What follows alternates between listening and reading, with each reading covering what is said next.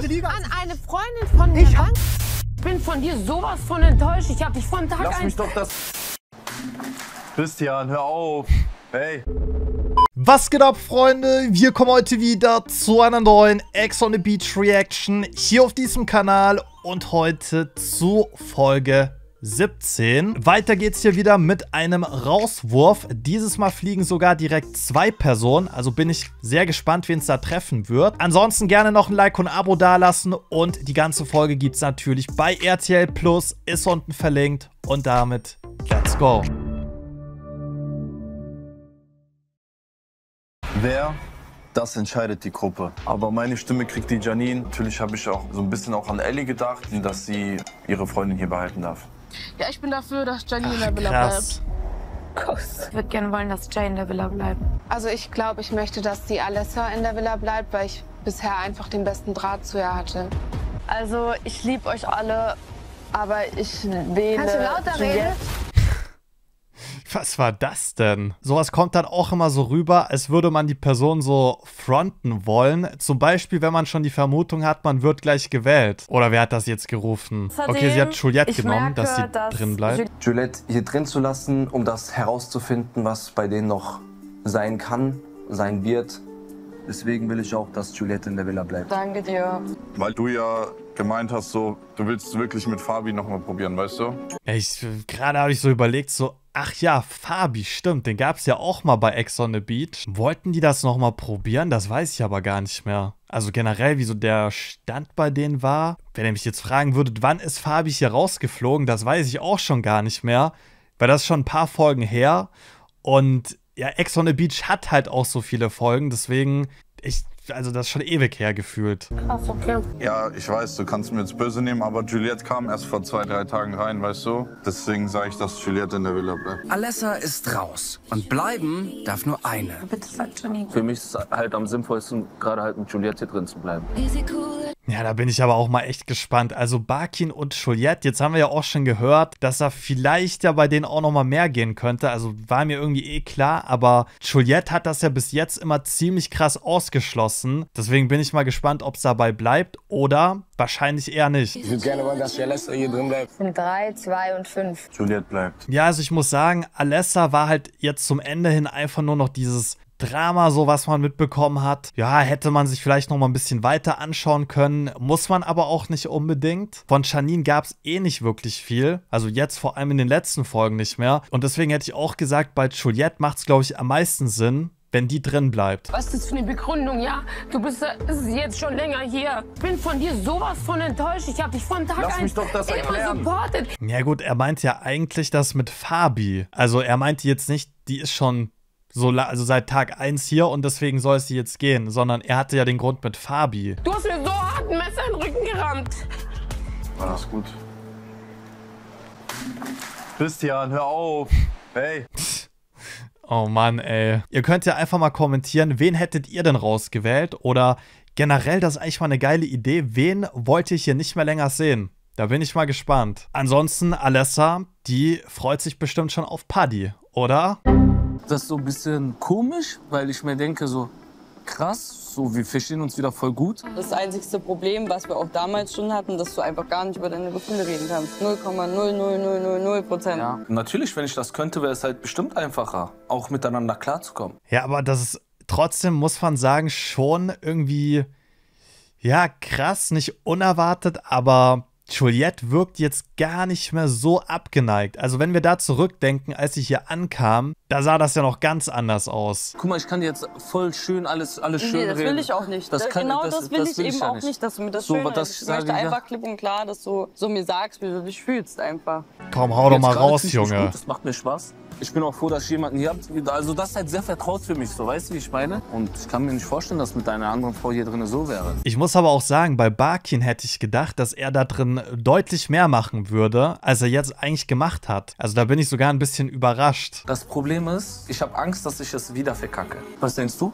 Natürlich fühlt sich das gut an. So, ich würde lügen, wenn es jetzt nicht so wäre, sonst würde ich das ja jetzt auch nicht mit dir so machen. Ich gucke halt einfach, wie der so drauf ist, ob sich da irgendwie was geändert haben könnte oder halt eben nicht, ne? Tja, das ist natürlich die Frage. Also, damals hatte sie ja gemeint, oder am Anfang, ne, wo sie reinkam, dass sie bei Barkin dachte, dass sie ihn irgendwie ändern könnte.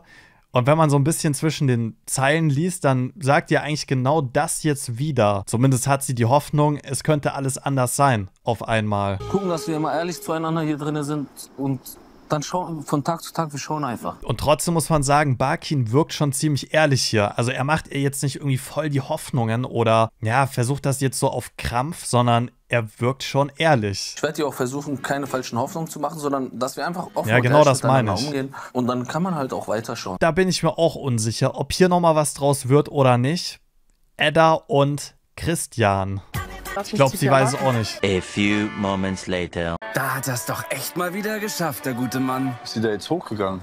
Aha. Das hätte ich aber auch nicht gedacht. Also wirklich überhaupt nicht.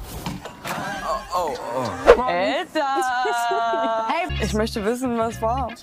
Ja, komm, Christian, geh doch mal aus dem Weg hier, damit die in Ruhe reden können. Aber ich glaube, die sind alle genauso überrascht davon wie ich oder wie wir wahrscheinlich alle, denke ich mal. Also ich habe keinen aber so ein bisschen so Angelhaken, Twister und so. Ja. Auf gar keinen Fall. Ich glaube, wenn der das so hört, dann, dann fühlt der sich doch auch verarscht, oder? Der hört die nur, wie die so ein bisschen so tuscheln. Dann lachen die auf einmal alle. da denkst du dir doch auch so, hä, was, was reden die denn jetzt? Es kam für mich komisch rüber, sie kommt runter und sie wurde halt so ausgequetscht und uns haben dann gelacht. Ja. War schön? Ja, ja. Ja, der Christian macht hier sogar noch mal Wäsche das Bett schön. Gut, Danke, danke für deine Hilfe. Oh, Christian, du warst auf einmal weg. Du warst weg? Ja, weil ich das gemacht habe. Ach, egal. Ja? Hast du schon wieder schlechte Laune jetzt? Ja, schon. Oh mein Gott. Aber nicht deswegen. Wegen was anderem Sondern? eigentlich. Kein Bock Hat's mit mir sein. jetzt zu tun? Ja. Dieser Switch einfach, wie schnell das ging. Man könnte auch sagen, so unerwartet schnell, wie die in den Sex on the Beach Room gegangen sind, so unerwartet schnell kippt auch die Stimmung. Aber ich sag euch 100 pro, weil die da vorhin so getuschelt haben. Safe. Weiß nicht. Ist komisch, wenn man runtergeht. So, dich belagern alle. Ich lauf weg. Ich höre alle lachen, so, keine Ahnung. Ja, ja. Ja, aber ist komisch so. Ich habe nur gesagt, ich Willst du sag nicht- nichts. Die sagen mir alle, habt ihr Twister 3000 gemacht? Was Ja, soll ich okay. denn sagen? Ja, okay. Äh, Nee, aber verstehst du, wäre das andersherum, würdest du auch dich komisch fühlen ein bisschen. Äh, ja, aber du musst doch nicht direkt schon wieder schlecht Laune. Hab ich doch nicht, alles gut. Ja, gut, ne? Also wirklich gute Laune strahlt er hier jetzt nicht aus. Oh no! Aber ich bin mir sicher, wenn er gewusst hätte, dass sie nur übers Twister 3000 gesprochen. wenn er das gewusst hätte, dann hätte er sich wahrscheinlich gar keinen Kopf gemacht deswegen. Aber ist doch klar, dass das komisch rüberkommt. Du bist gerade hier hingekommen, hast gesagt, du hast schlechte Laune. Ja, ein bisschen, aber nicht wegen dir. Hä? Ich dachte, Ja, gerade meint er noch wegen ihr. Männer. Frauen. Dann gucken wir doch mal, ob wir dem Christian hier ein bisschen die Laune versüßen können. Und zwar hat sich nämlich wieder das Tablet gemeldet. Also ich sag mal direkt meine Vermutung. Ich glaube, ich habe den Vorspann übrigens nicht angeschaut. Ich denke aber, heute könnte Abdu reinkommen. Die Sonne steht hoch, ihr seid entspannt.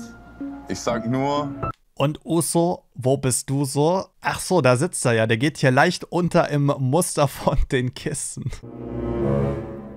Denn gleich geht's zum Strand. Wenn heute mein Ex Ja, ja, das ist dann Abdu, gibt's auf jeden 100 Fall Pro. auch sehr viel Beef und Drama. Jessie, Edda, Juliette, runter zu den Liegen. Ja, wie gesagt, da hat man schon erkannt, das müsste auf jeden Fall Abdu sein. Da haben wir ja auch schon krasse Sachen gehört. Also beklaut hat er Jessie wohl und so. Das kann, glaube ich, interessant werden. Gibt viel Klärungsbedarf. Wisst ihr, wer eigentlich auch gut reingepasst hätte? Ich finde, Philipp hätte hier gut reingepasst vom Heiratsmarkt.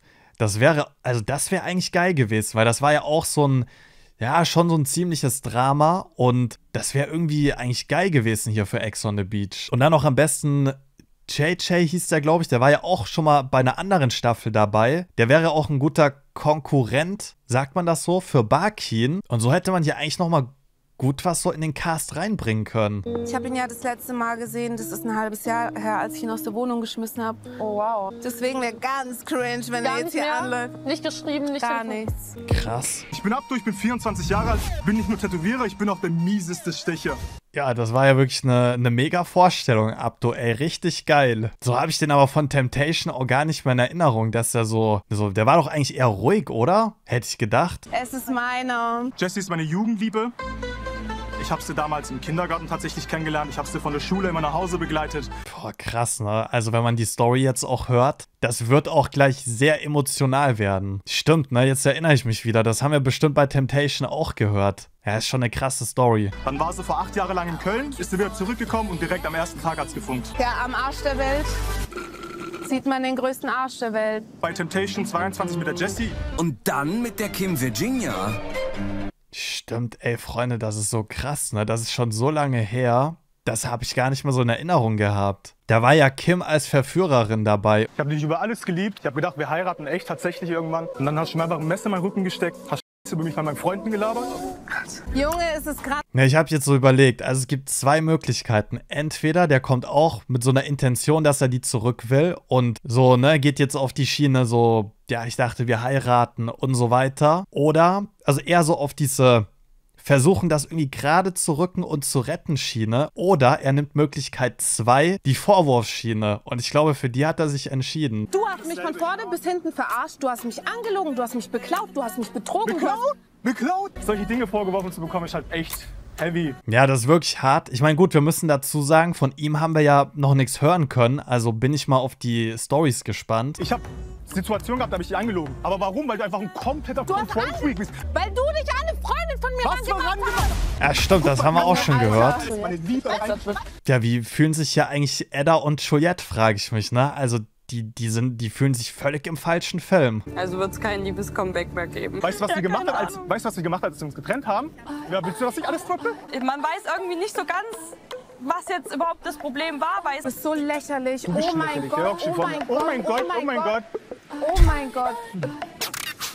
Oh mein Gott. Immer wenn man nicht mehr weiter weiß, Freunde, dann kommt ja natürlich das Tablet um die Ecke. Und wie es auch schon zu erwarten war, gibt es ja ein Date für die beiden. Dann gucken wir mal, ob da nochmal die Sachen so ein bisschen mehr aufgeklärt werden. Aber wir haben so viel gehört, aber so richtig irgendwie blickt man doch nicht durch. Du hast mir meine Irgendwie glaube ich, das ist noch nicht durch bei denen. tausend Stücke gerissen mit dem, was du abgezogen hast. Ich habe sie einfach nur angeschrien. Ich weiß immer noch nicht, warum die getrennt sind, aber nee.